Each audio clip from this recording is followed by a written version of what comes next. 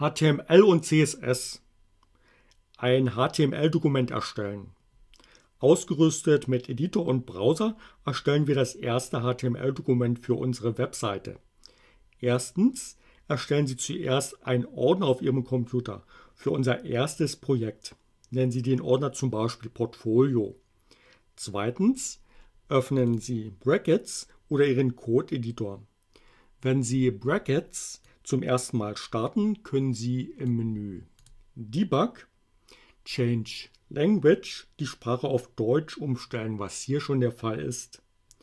Drittens öffnen Sie das Menü Datei und wählen Sie Ordner öffnen. Suchen Sie dort den vorhin erstellten Portfolio-Ordner und öffnen Sie diesen. Viertens öffnen Sie das Menü Datei und wählen Sie Neu. Wählen Sie Datei, Speichern unter und geben Sie der Datei den Namen index.html und speichern. Nun haben wir eine ganz einfache leere Textdatei namens index.html.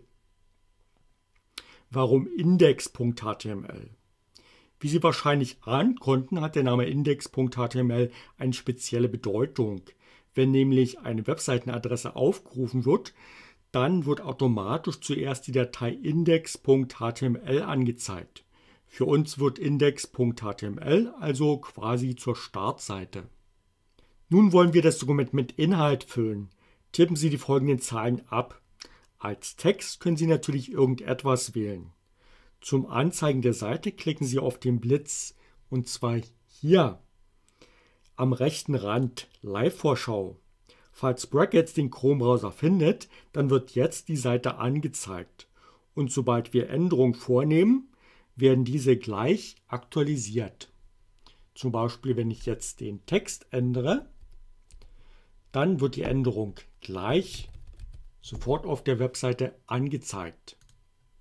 Falls die Webseite nicht angezeigt wird, suchen Sie die index.html-Datei auf Ihrem Computer und öffnen Sie diese mit Chrome oder einem anderen Browser.